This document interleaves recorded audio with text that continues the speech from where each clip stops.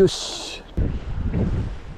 えー、30のオフセットフックじゃ乗らなかったんでイワシヘッドの 15g かな？14g か。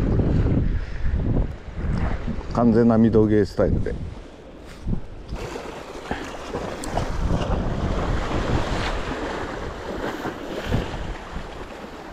フルキャストして今ボトム取ってます。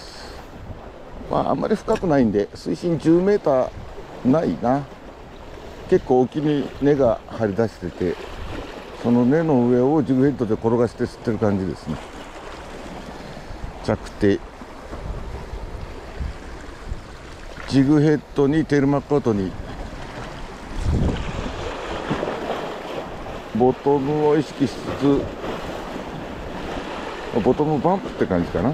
リフトリフトフォールなんだけど巻きながらなのでボトムバンプこういう感じ。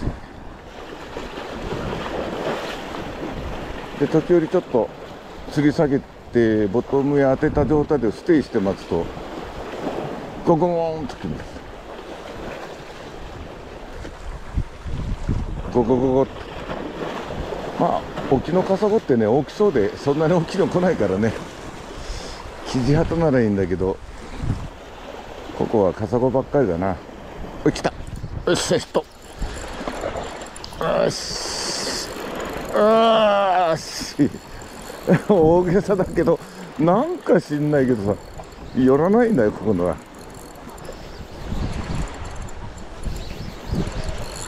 あ強いな。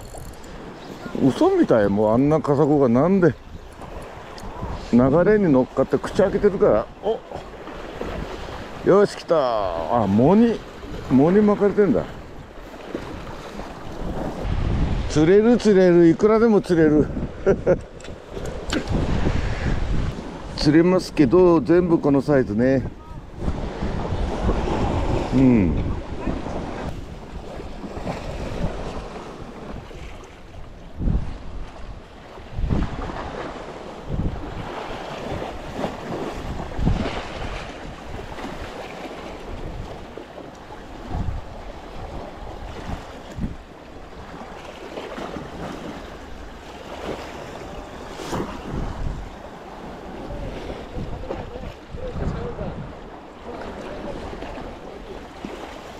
よしと。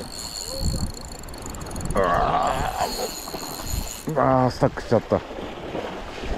ふう潜られちゃったよ。出てこないかな。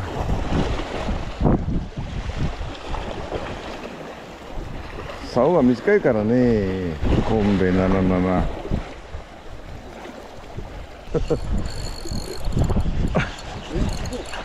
いや藻がついてんだよ多分。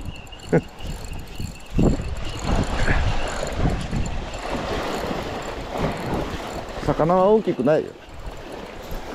なんだかわかんないあの駆け上がりに藻があるんだと思う。それに潜られるんだと思う。だからすごく重たい。よいしょ。ゲーキャッチ。よいしょ。プンプクプンとここ子供が生まれそうよこれ。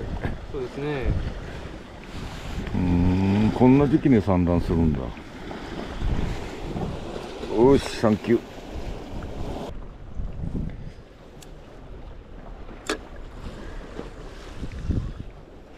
ー。わああお来た来た来た。よいしょよしょよしょなんだ？